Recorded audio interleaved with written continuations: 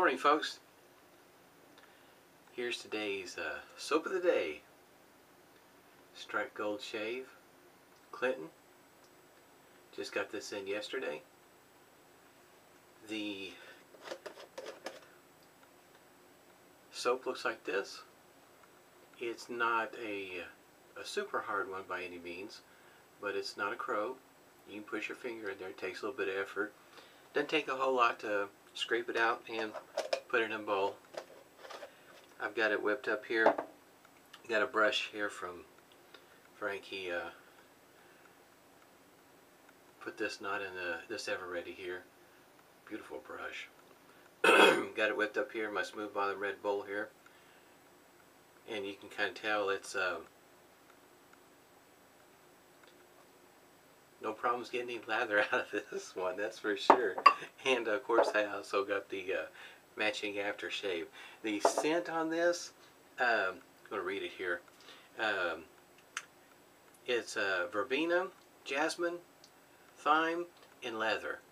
And uh, Frank has mentioned in one of his other um, uh, videos that a, he's trying to make a unique scent.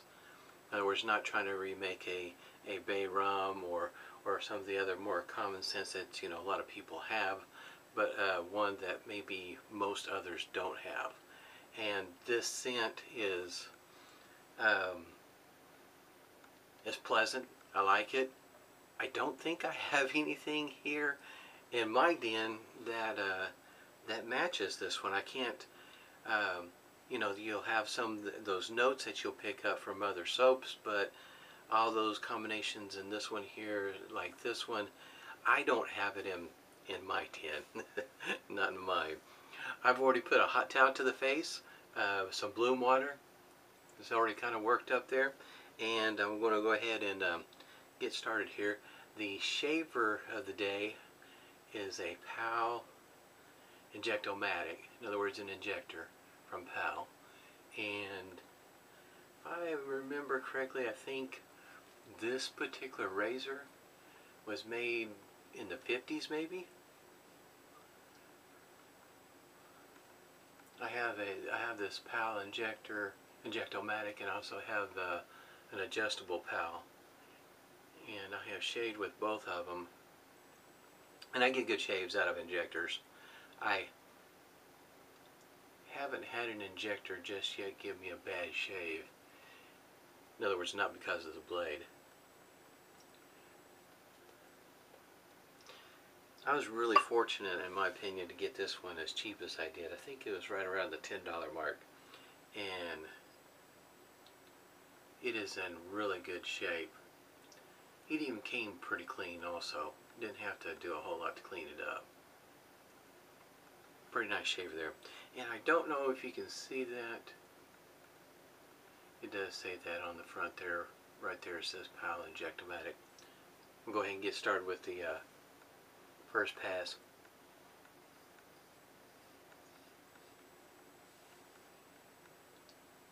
I had read where one person's opinion on the uh, about the razor. In other words, where does it compare maybe with a Schick injector? And uh, the gentleman that was, uh, you know, in his experience, he felt like it fit in between a, a Schick injector, the um, the E and the G, somewhere in between there. If that helps anybody.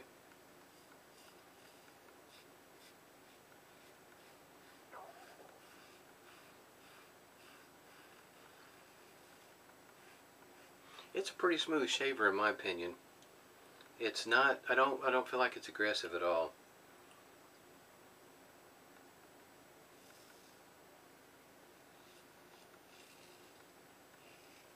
I can still smell the scent of the soap. It's pretty cool. Because of my nose, I don't always smell it.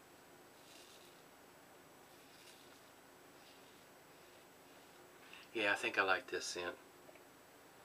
Um, I don't remember how many he has left. Uh, it, it was maybe two days ago or three days ago that he had um, three left.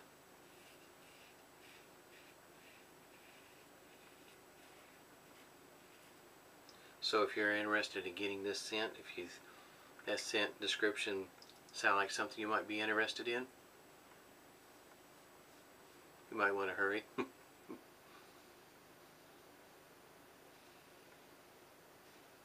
I remember right, uh, I do remember seeing Nixon, and I think I saw Hoover.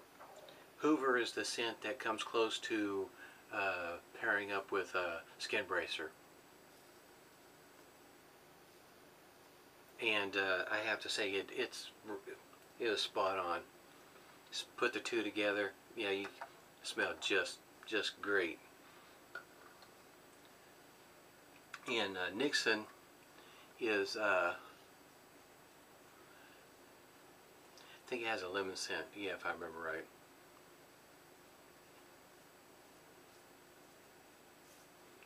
I, I like citrus scents, citrus, uh, especially certain times of the year. It's uh, it's one of those, uh, how can you say, fitting for the year.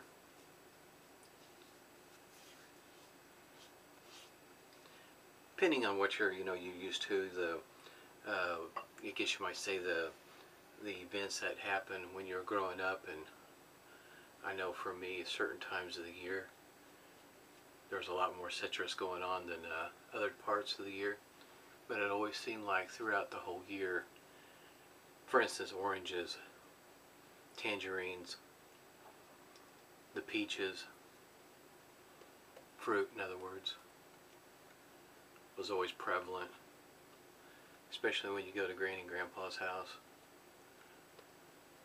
Stuff like that. This is pretty creamy stuff. This whipped up pretty nice.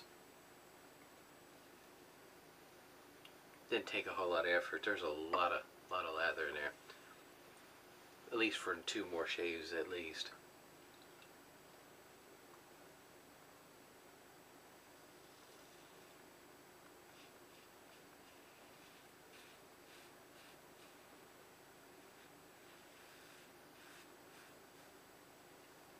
nice shave. I, for me, I, I and, you know, and everybody's experience is different, but I know for me,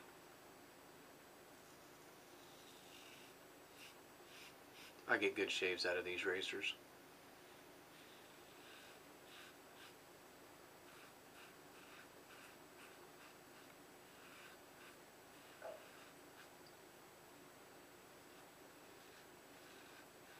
if you didn't quite catch it early on, that razor, I mean that uh, shaving brush there, uh, Frank uh, spruces them up, puts a new knot in them. He provides that service as well as a honing service where the uh, uh, straight razors.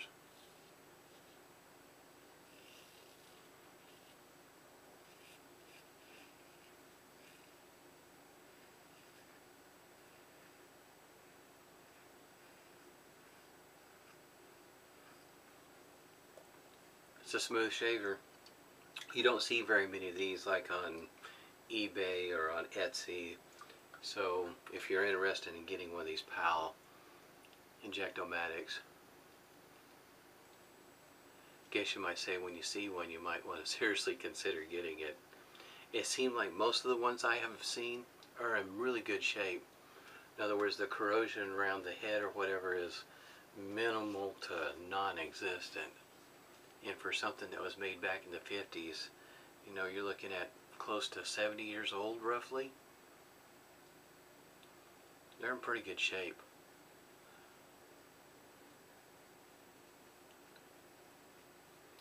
The sand is still just rolling out of the soap, I mean out of the lather here.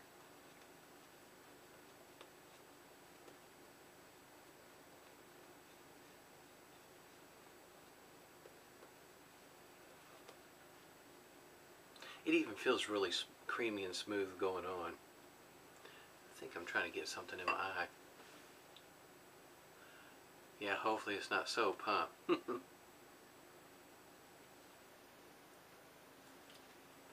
There's only been one time I got soap in my eye, and boy howdy. It let me know about it.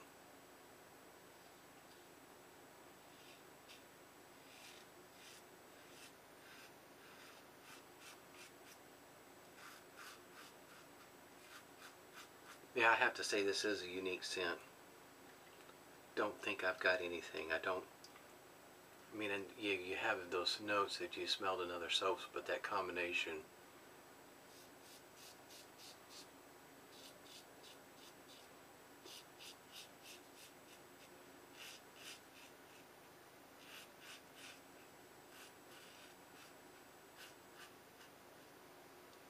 I enjoy injectors. It's the, uh, in my opinion, a lot of cases, it's, uh, you just have to be careful when you're loading the blade. And I had, um, it was a Schick brand blade, and I had even noticed, before I loaded it, that the grind didn't look right. It was uneven. So, I wasn't about to use it.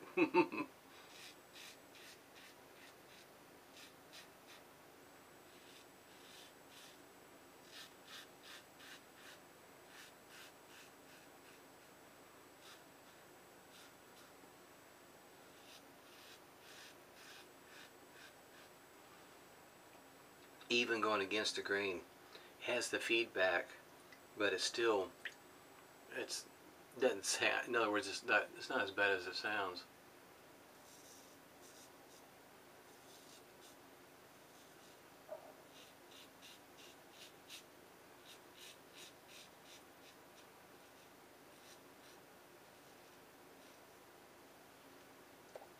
I don't know that alum's going to have a whole lot to say about this shave. Feels pretty good.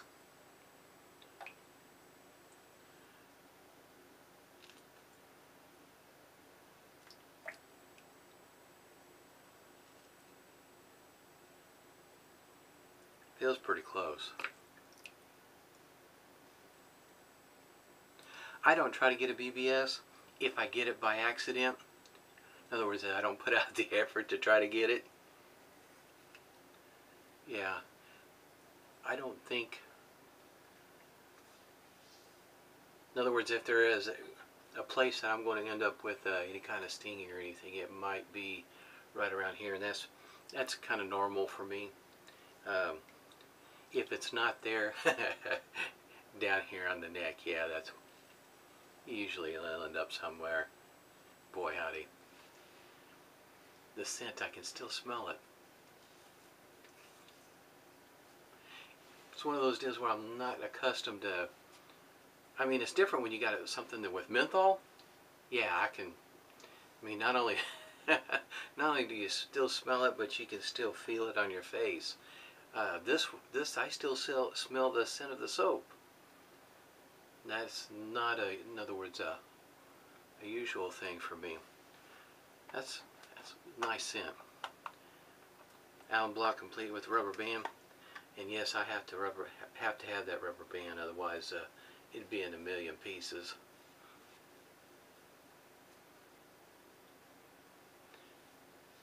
Right there. That's the only stinging I got, and I don't know what I did there. Didn't I know when I was shaving, I didn't really notice it down there.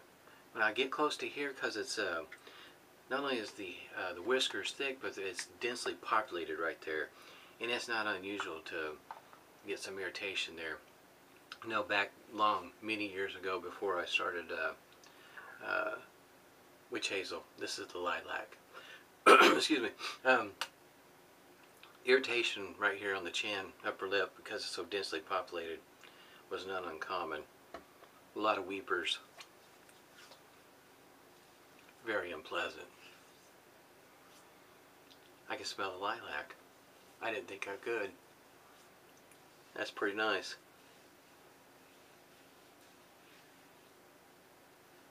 My uh, oldest stepson came over yesterday and he'd been sporting a beard through the summer. Through the summer. And now he decides to shave it off.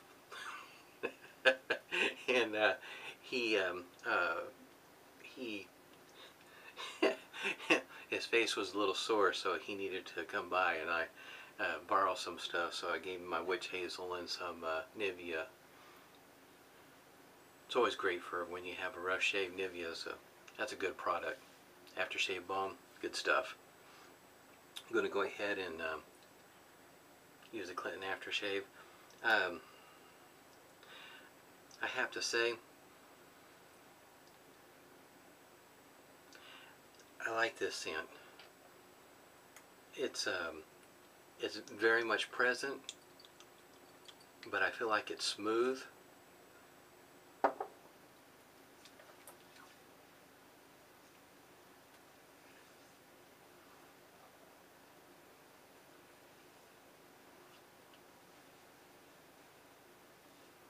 Still thinking about the scent. It is, um, I'm telling you, if you don't, if you haven't had a chance to get it, you ought to look into it.